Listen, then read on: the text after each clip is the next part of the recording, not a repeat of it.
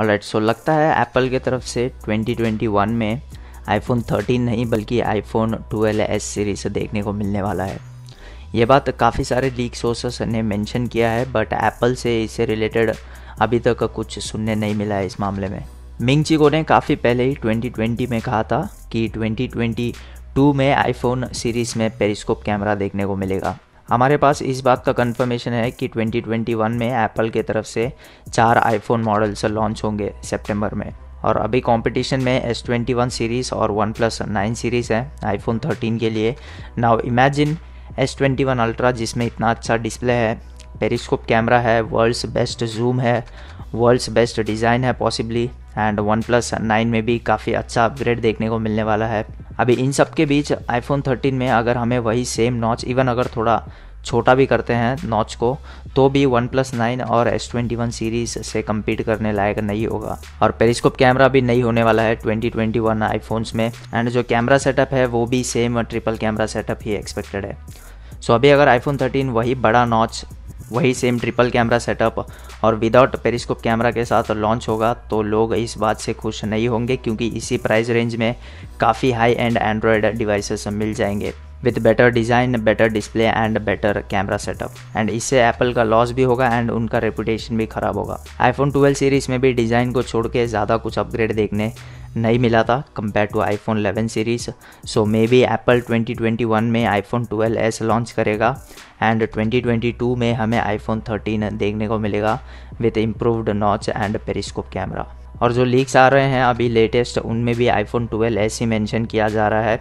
सो latest reports के according 2019 में iPhone 12 S series में चार मॉडल्स लॉन्च होंगे, जिनका साइज़ और डिज़ाइन बिल्कुल आईफोन 12 सीरीज़ जैसा ही होगा। सिर्फ़ तीन बड़े चेंजेस देखने को मिलेंगे। 120 twenty hertz L display support होगा मतलब adaptive refresh rate under display touch ID introduce होने वाला है एंड नॉच थोड़ा छोटा होगा। वो भी सिर्फ़ लेंथ में विड्थ में नॉच बिल्कुल सेम ही होगा। इसके साथ आईफोन 12s में low light picture quality overall improve किया जाने वाला है। सबसे ज़्यादा लीप अल्ट्रा वाइड कैमरा में देखने को मिलेगा। ऑल्सो आईफोन 12s में हमें एफ़ 1.8 एपेचर देखने को मिलने वाला है अल्ट्रा वाइड लेंस के लिए, जो अभी सिर्फ़ एफ़ 2.4 का है। Which is a massive improvement so low light condition में भी काफ़ी ब्राइट और डिटेल्ड अल्ट्रा वाइड शॉट्स लिए जा सकते हैं। कैमरा वही सेम ट्रिपल कैमरा सेटअप होगा। No changes there but camera module में थोड़ा चेंज होगा। सारे लेंसेज जो हैं, वो एक सिंगल सफ़ायर ग्लास में कवर्ड होंगे। This improves overall look of the camera module and lenses भी स्क्रैच से बचे रहेंगे।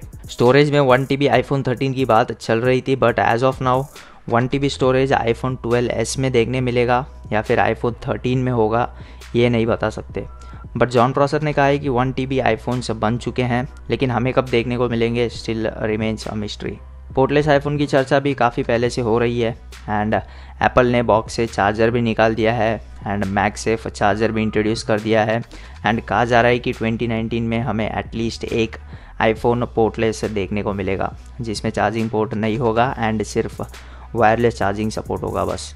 एंड मोस्ट प्रोबेबली प्रो या फिर प्रो मैक्स मॉडल होगा पोर्टलेस लास्टली रूमर्स ऐसे भी चल रहे हैं कि चारों मॉडल्स में लाइडर सेंसर देखने को मिल सकता है, जो हमें ट्वेल्व सीरीज़ में सिर्फ़ प्रो और प्रो मैक्स मॉडल में देखने को मिला था। आई थिंक ये जस्ट र्यूमर ही होगा, क्योंकि अगर चारों मॉडल्स में लाइडर सेंसर इंट्रोड्यूस कर दिया तो स्टैंडर्ड और प्रो मॉडल में ज़्यादा कुछ डिफरेंस बचेगा नहीं। सो आई थिंक ये मोस्ट प्रोबेबली र्यूमर ही है, ऐसा कुछ होगा नहीं शायद। एनीवे सो आज के लिए बस इतना ही for more iPhone 13 and iPhone 12s info watch my previous videos also regular updates आते रहेंगे डोंट वरी आपको सिर्फ़ सब्सक्राइब करके जाना है, बस। बाकी मैं जेन्यून लीक्स आपको प्रोवाइड करता रहूँगा। Thanks for watching and I catch you guys in the next one